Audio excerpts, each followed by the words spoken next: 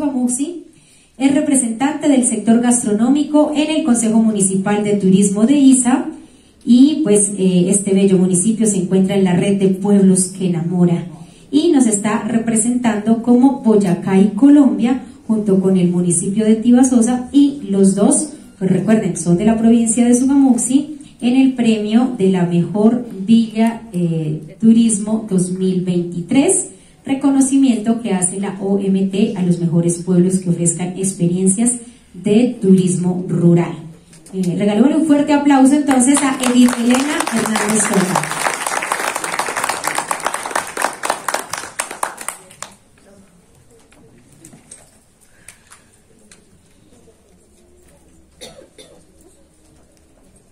Buenas tardes para todos. Ya tarde, ¿cierto? Sí. Sí, les quiero agradecer el que,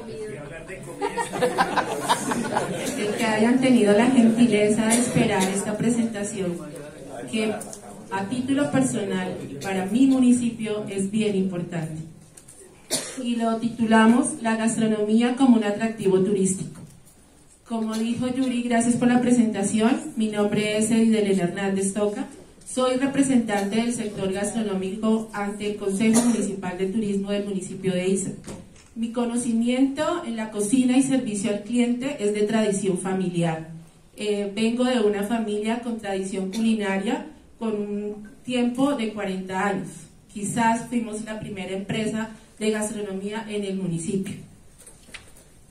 Mi intervención el día de hoy es un producto de una sinergia que se hizo acá, en la Cámara de Comercio de Sogamoso, con el clúster de turismo de Sugamuxi, eh, que con el apoyo de dos empresarias eh, lograron hacer un taller, el cual, ¿me puedes hacer un favor de...? el cual se denominó Taller Diseño de Rutas Alimentarias, Agroturísticas y Gastronómicas a cargo del doctor Antonio Montesinos Torres. Em, él es doctor en turismo, especialista en planificación eh, turística y gastronómica con, eh, a nivel sostenible e inteligente. Este taller fue clave para mí, porque allí de alguna manera inspiró el entender que para que mi empresa gastronómica se preservara tenía que tener innovación y empoderamiento. Y allí, en ese taller, entendí claramente que em, la gastronomía, o sea, entendí claramente que lo más importante para diseñar un producto turístico no depende de la demanda, depende del conocimiento del territorio y sus inventarios y de saber cuál es su oferta para así seleccionar mi demanda. Ahí entendí el, tema en, este taller. Continué con la búsqueda, si lo puedes, eh, no, anterior. Fue tanta la motivación que él generó, espero que lo haya generado en un grupo de empresarios del sector gastronómico, que continué capacitándome y realicé el taller Operación de Negocios Gastronómicos. Allí definitivamente, a pesar de que no soy del gremio, pero por tradición familiar hago parte y crecí en el medio, entendí cuál era mi intención y mi motivación grande en este mundo mágico de la gastronomía no solo de entender cuál era su importancia, eh, sino también de saber cuál era la razón de ser un destino turístico. Qué importante es la capacitación, pero una capacitación constante y de calidad. Siguiente. Realmente marcó un antes y un después estas dos capacitaciones y quiero hacer reconocimiento porque él es, con el respeto de todos, casi de muy pocos expertos en la materia que tienen el gran arte de escuchar y de ir a la base de todo un proceso para obviamente estructurar, estructurar y globalizar lo que es el turismo. Nos visitó en mi restaurante y ya les digo que él me generó en mi cabeza que mi empresa tiene que tener visión humana.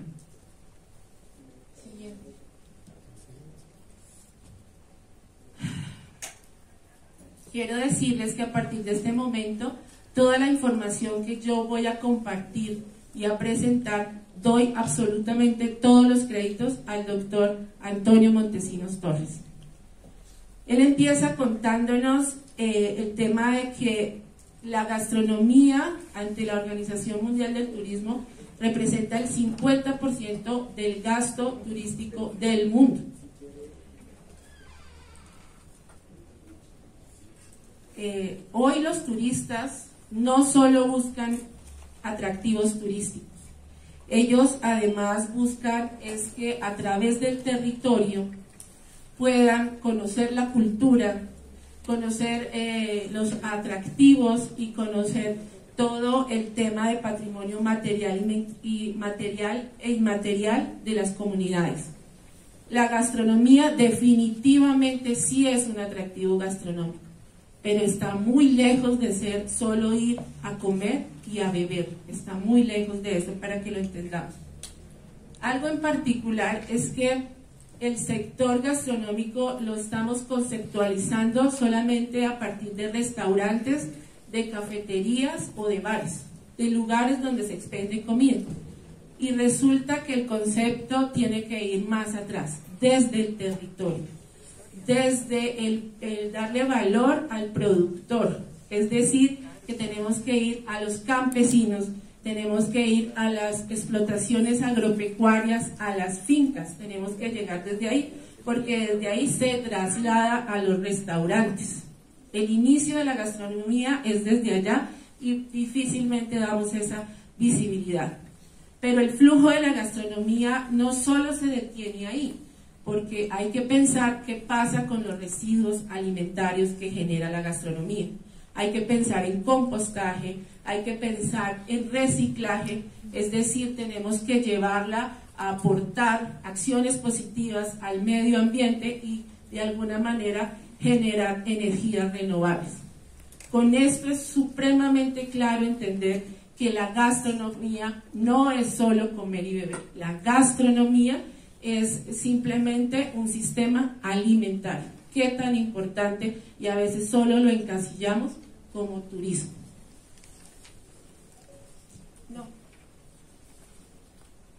¿Desde dónde empieza? Ya dijimos que tenemos que visibilizar los actores productores y darles valor pero eh, la esencia de esto es la empresa. Y las empresas gastronómicas se deben eh, mantener sobre cuatro ejes importantes y tienen que estar encadenados. Uno es la competitividad, pero una competitividad constante, innovadora y la más complicada de todas, y lo sabemos, leal y honesta. Esa es la competitividad que tenemos que mantener en la gastronomía el segundo eslabón es la gestión, pero una buena gestión, una gestión eficiente, tanto de calidad humana como de servicio. El tercero es servicio al cliente, pero un servicio al cliente de 360 grados, es decir, que tengamos en cuenta el preconsumo, el consumo y el postconsumo. Con eso es importante determinar que el cliente no es solo el que llega, el real cliente es el que se va y regresa. Y depende de nosotros y de nuestro servicio al cliente que eso se realice. Inevitablemente la última fase y la que como que cierra el ciclo es, son los indicadores que muy poco lo hacemos o le damos la importancia adecuada. Porque realmente lo que no se mide difícilmente se puede controlar y nunca se puede mejorar. Y realmente nosotros muy poco lo hacemos. Ya tenemos una empresa competitiva turísticamente. Esa es la primera tarea que debe hacer el sector. Ahora que viene, pues debemos de, de integrarla. El turista no viene ahora solo por conocer atractivos turísticos. Ellos vienen es porque quieren em, conocer productos integrados. Hay destinos que lo están haciendo bien porque tienen muchos atractivos turísticos. Y hay empresas que solitas lo hacen muy bien, pero están solas. Y lo que busca el turista es que estos productos se integren. ¿Cuál es la manera de integrarlo? Las rutas, los itinerarios culturales y los circuitos. Eso es lo que realmente busca el, turista. Y empezamos a hablar de, al tener estas rutas, empezamos a hablar de los tipos de, eh, de rutas que se pueden generar o tipologías turísticas que en el caso de la gastronomía estaríamos hablando de unas rutas gastronómicas. Las rutas gastronómicas dependen del inventario que tengamos y dependen del territorio, entonces la empezamos a subdividir. Las rutas gastronómicas, ¿qué buscan en ellas los turistas? Buscan conocer platos emblemáticos, buscan conocer ingredientes que en el entorno natural pues le dan mayor valor al proceso y buscan conocer bebidas. Es decir, que lo que ellos, eh, eh, lo que se busca es que sea eh, un producto integrado con una finalidad. Estas experiencias, estas rutas, se tienen que empezar a generar y ser acompañadas y ser ofrecidas al turista a través de quienes? De los guías de turismo, a través de las agencias locales. Ellos son los encargados de empezar a mover y a mostrar estas rutas. Afortunadamente, con todo lo que ha pasado, la digitalización ha jugado un papel muy importante y cada vez más el turista se puede acercar directamente a estas agencias locales. Lo que hace pues que obviamente se pierda la intermediación. Esto hace que realmente el beneficio de tener turismo llegue directamente a la comunidad. ¿Y qué hace? Pues que se fortalezca y esto es lo que hace que el turismo sea sostenible. El turismo gastronómico es sostenible siempre y cuando se conozca, se respete y se valore a la comunidad como un actor principal. Esto es sencillamente, obviamente, después de que tenemos la empresa, después de que nos integramos, después de que lo mostramos como destino, necesariamente tenemos que indicadores nuevamente. Porque obviamente esto es lo que nos va a mostrar qué estamos haciendo, qué estamos mejorando, qué nos falta y a quién estamos anulando, que es lo que seguramente está pasando en muchos destinos. Este ciclo o estas etapas constantemente se tienen que ir renovando. ¿Y cómo se hace? Pues a través de la capacitación. Es súper importante porque allí es donde definitivamente decidimos cuál es el rumbo a coger. Después de terminar estas etapas, la quinta es la satisfacción al cliente, porque tenemos que tener cada vez más clientes satisfechos que deseen retornar al destino.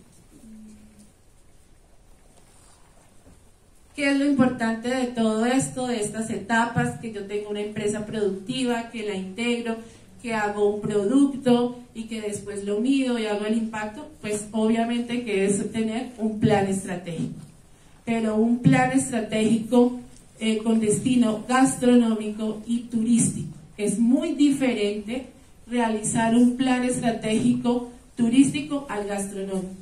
Yo no puedo diseñar un plan gastronómico estratégico si yo no considero que lo primordial en el territorio es mantener y salvaguardar el tema de la seguridad alimentaria. el tema de la seguridad alimentaria es importante mantenerlo. Eso definitivamente es turismo sostenible. Y si yo no hago ese plan estratégico, pues difícilmente puedo llegar a generar una política pública. Si yo no genero una política pública, pues no puedo adquirir recursos. Y al no tener recursos, simplemente pasa lo que ha estado pasando, que no, volvemos, no vamos a pasar de tener festivales, de tener reconocimientos, pero pues obviamente no hay quien nos indique que sí lo que realmente estamos haciendo. Es fundamental un plan estratégico. ¿Para qué se tiene un plan estratégico si no hay gobernanza? Nosotros estamos acostumbrados a que el sector público nos solucione todo. No, señores. Tenemos que tener gobernanza y el principio de la gobernanza es la participación activa de todos los sectores, del sector social, del sector empresarial, del sector público, del sector académico. Solo con esta, eh, este espacio de gobernanza y de entender, de tener un plan estratégico, de tener una política pública, de conseguir recursos, podemos hacer las cosas, mantenernos y perpetuarnos en el tiempo de manera exitosa y competitiva. De aquí, de todo este conocimiento, de toda esta iniciativa, sí quiero reflexionar que las capacitaciones sí sirven, son importantes y esto es un resultado de que la capacitación es importante. Lo que pasa es que es un acto intangible y entonces no, no se valora, no se valora la capacitación, no se valora la formación, no se valora la inteligencia y mucho menos se valora la experiencia. Por lo cual se pierden procesos y se pierden mentes y se, y se pierden acciones y actuales. Cinco minutos. Y llegamos a lo más importante. De todo este conocimiento a través de la capacitación, diseñamos este evento que se llama Maestros de la Trucha en Isa Yo quiero aclarar que Maestros de la Trucha no es una ruta. Estamos lejos de ser una ruta, porque quiero que entendamos que la ruta es el encadenamiento de varios actores, desde el primario hasta el final. Y aquí simplemente estamos buscando una estrategia para que el sector gastronómico se posicione, sea competitivo, se fortalezca para obviamente empezar a salir al sector turismo. ¿Cuál es nuestro objetivo? Esa imagen orgullosamente es del evento. Esto es lo que ustedes van a encontrar allí. La trucha es más allá que una plancha. La trucha es una combinación perfecta de sabores, de colores, de texturas y obviamente nos lleva a lo que es la casa y la buena comida de la familia. El objetivo de este evento es posicionar a ISA como un destino gastronómico a nivel regional, donde la preparación de la trucha arcoíris del lago de Tota es uno de los protagonistas. Los otros protagonistas somos nosotros, los empresarios y nuestras empresas. Es clarísimo que no solamente es un evento, es una excusa para organizarnos. Queremos y hemos trabajado los participantes en cinco principios o filosofías básicas. Tenemos que expresar que somos calidad, tradición, creatividad, pasión y experiencia. Los establecimientos que están participando en este evento no son los más prestigiosos, unos tienen más trayectoria que otros, tienen más capacidad. La idea de esto es motivarlos a decir que seamos competitivos sin importar nuestro tamaño, que tenemos que tener en claro y el lineal es el conocimiento para poder lograr hacerlo. Estos son los restaurantes y ellos representan el 65% de la oferta gastronómica del municipio de Isa. Los restaurantes participantes son 10. Hacienda Buenos Aires, San Isidro, Las Palmas Restaurantes, Restaurante Fogón y Sala, La Fuente Asadero y Restaurante, Restaurante Lonchería Las Acacias, La Casona Restaurante, Piscina Erika, Hotel Termales El Batán y el restaurante María Edo y Che.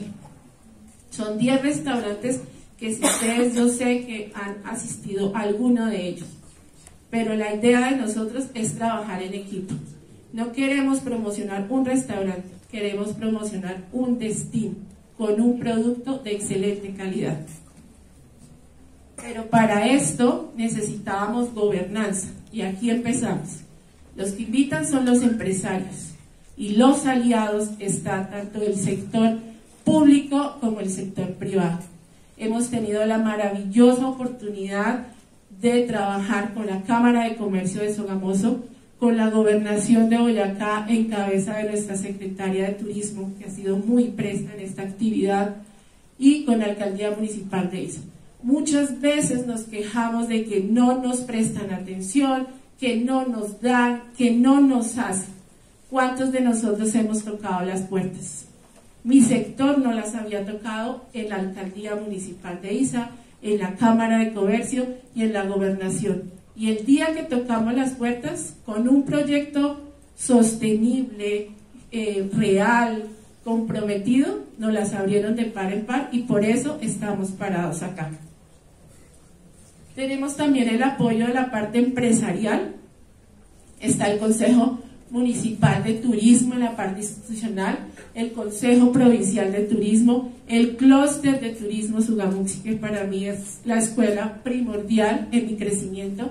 Tenemos las empresas como la Quinta Puff, Coffee Puff, Postres Villaconsuelo, Helados Artesanal Tierra de Osos y Comamos Trucha. Estas cuatro empresas son de ISO y ellos creyeron en nuestro proyecto. Esto es gobernanza. ¿Qué es nuestro evento? Empieza la parte promocional. Lo vamos a desarrollar el 15 y el 16 de julio. Tal vez los de atrás no me escucharon. 15 y 16 de julio. ¿Dónde va a ser? En cada uno de los establecimientos que están participando. Es decir, van a tener la propuesta de degustar una trucha deliciosa en 10 restaurantes. ¿Quiénes participan? Restaurantes de área de influencia del municipio de Isa. Donde su plato fuerte es la trucha arcoíris, y esto es muy importante, que es del lago de Toro. Ustedes van a encontrar esos dos días un plato elaborado, receta original de cada uno de los restaurantes, que es nuestro mayor aporte en innovación. Los que están en gastronomía saben lo difícil que es crear un nuevo plato y lo estamos logrando. Es decir, que ese fin de semana ustedes van a tener la posibilidad de degustar y de conocer 10 nuevas recetas con trucha arcoíris del lago de Tota. Todas las recetas van a estar a un mismo precio, 22 mil pesos. Y van a estar durante el sábado y durante el domingo a su exposición para que nos conozcan. La iniciativa no es solo que coman bien, sino que se sientan bien.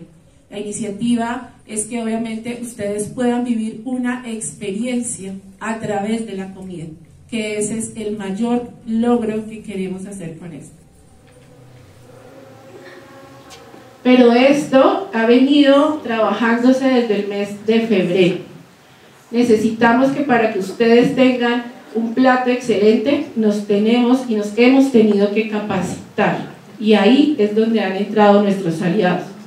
Nos hemos capacitado en marketing digital. La profesora Cristina nos decía que estábamos a años luz de esto, a pesar de que las mismas circunstancias han obligado a que empecemos, pero la verdad es esa nosotros en el tema de gastronomía estamos un poquito en mi municipio, retrasados en el tema de redes sociales y promoción digital. Entonces, si nos querían conocer, pues nos toca empezarnos a mover en ese medio y es una excusa para empezar a capacitarnos en el mismo. A pesar de que tenemos la experiencia gastronómica en el manejo de la trucha, nosotros no nos la sabemos todo. Aquí es donde quiero exaltar el valor de nuestras cocineras tradicionales, empíricas. Pensaría yo que el 90% de los participantes, sus cocinas están formadas por cocineras tradicionales y también les queremos dar el valor a ellas. Alguna vez usaba la frase, nuestra cocina isana está muy cerca de los fogones y muy lejos de los libros. No, porque si nosotros no nos actualizamos y no innovamos, nuestra cocina tradicional sencillamente va a desaparecer. Por eso mismo generamos eh, el espacio para que tuviéramos la oportunidad de capacitarnos eh, en técnicas culinarias para mejorar nuestros procesos culinarios. Y tenemos un chef que se llama Julián Pérez Bonilla y él ha estado no solo en unas capacitaciones generales, sino personalizadas para conocer todo el entorno de la comida, del servicio y también para identificar qué falencias tenemos. Constantemente nos hemos reunido para mirar y evaluar la gestión que hemos hecho, las falencias en el mismo evento, las oportunidades y amenazas que podamos tener en el transcurso de la ejecución del mismo. Todos los restaurantes tuvieron su visita con el chef y están muy motivados y quizás es la primera vez que ellos se enorgullecen de la empresa que tienen y que son conscientes que hay falencias, pero también tienen la capacidad de redireccionar sus empresas para que obviamente nos funcione mejor. Pues obviamente está en compañía del chef, con las cocineras, con los propietarios, porque esto también es importante. A veces dividimos el sistema de los restaurantes y operamos diferente la parte administrativa que la parte técnica y eso eh, nos hemos estado dando cuenta que cuando no hay un encadenamiento completo de la cadena productiva en la gastronomía, pues obviamente empezamos a desaparecer. Hemos hecho promoción, tuvimos unas campañas que espero que algunos de ustedes, ojalá todos las hayan podido evidenciar. Hicimos programas eh, de expectativa, eh, empezando a, decir, póngase trucha y véngase en julio a Isa a comer trucha. Entonces la gente empezó a decir, venga, pero ¿qué es esto? Empezamos, eh, obviamente con ayuda de Cámara de Comercio, como les digo, eh, tuvimos la posibilidad de hacer un diseño de nuestra imagen y poder que la gente, los, los restaurantes, se empoderaran de este proyecto y ellos mismos fueran anfitriones en diferentes días de la semana y fines de semana para promocionar algo que es de ellos y para ellos. Estuvimos participando, la Cámara de Comercio nos abrió el espacio en Expovic para promocionar esta iniciativa y fue muy importante, llamó la atención, eh, recibimos obviamente comentarios, empezamos a hacer reingeniería de nuestro evento para, para poder lograr eh, cumplir con las expectativas que tienen nuestros comensales.